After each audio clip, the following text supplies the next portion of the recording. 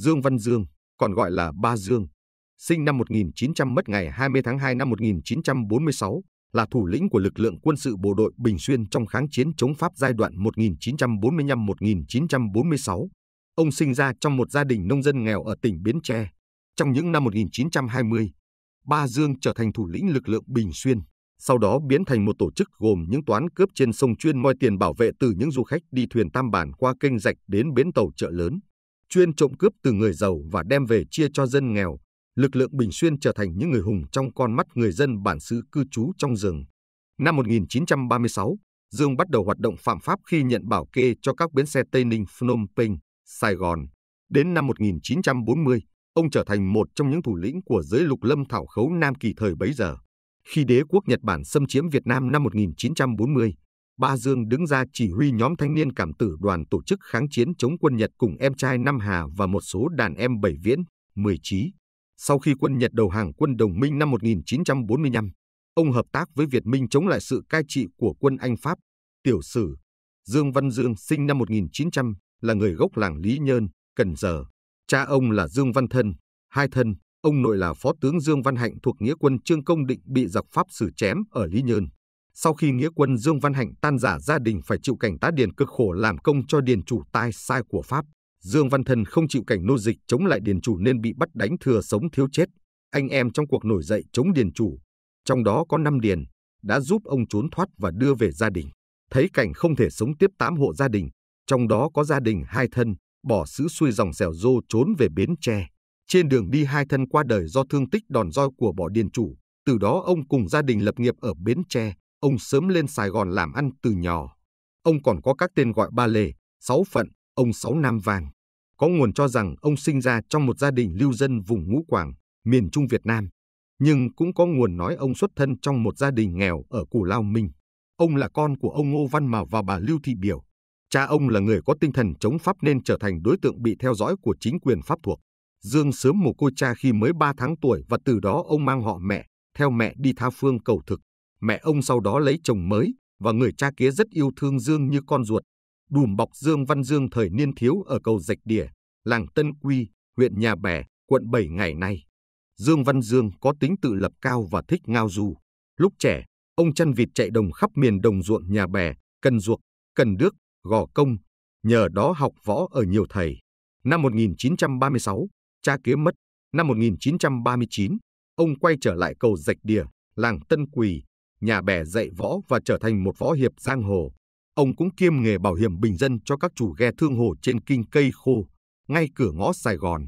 Sáu ông được miêu tả là người nghiêm nghị, ít nói, nhưng hòa nhã, thân thiện, lạc quan và kiên trì, tài đức song toàn.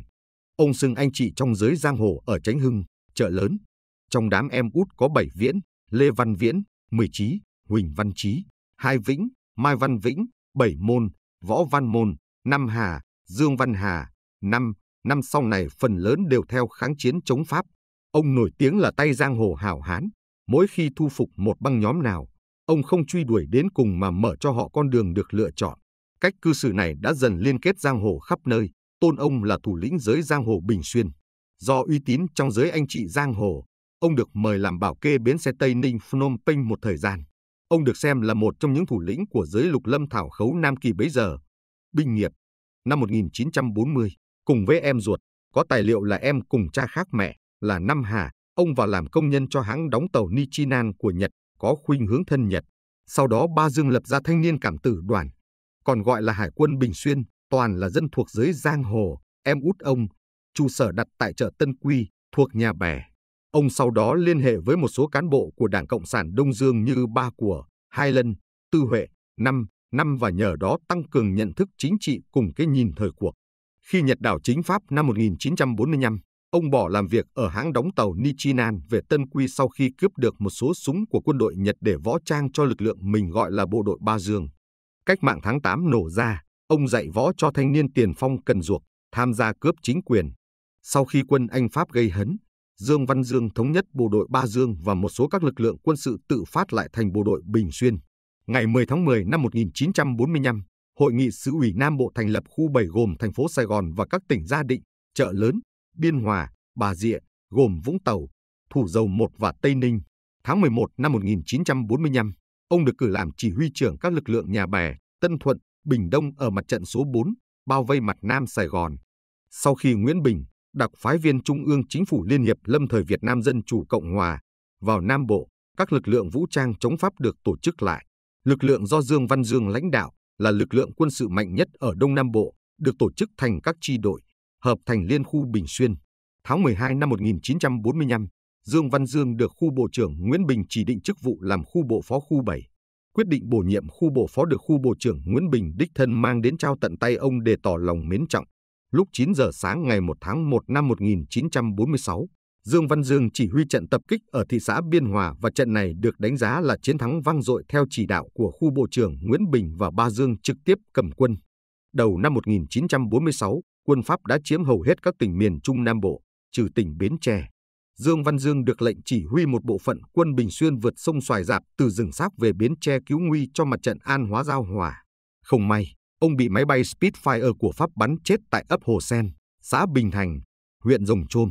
Ngày mất của ông có nhiều nguồn ghi khác nhau như 7 tháng 2 năm 1946, mùng 6 Tết Bính Tuất, hoặc 16 tháng 2 năm 1946, hay 17 tháng 2 năm 1946, 16 tháng riêng năm Bính Tuất, 20 tháng 2 năm 1946, 19 tháng riêng năm Bính Tuất, 22 tháng 2 năm 1946.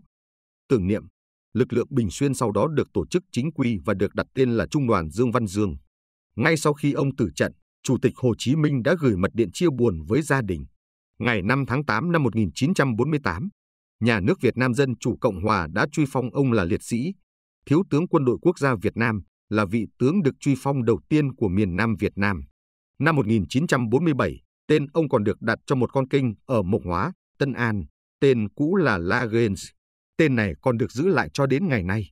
Ngày 7 tháng 4 năm 2000, thành phố Hồ Chí Minh đã đặt tên đường Dương Văn Dương cho một đường hẻm mới được mở rộng từ năm 1996, dài khoảng 450 mét, nằm trên địa bàn phường 16 quận Tân Bình, nay thuộc quận Tân Phú từ siêu thị Nhật Bản Aeon đến đường Đỗ Thừa Luông.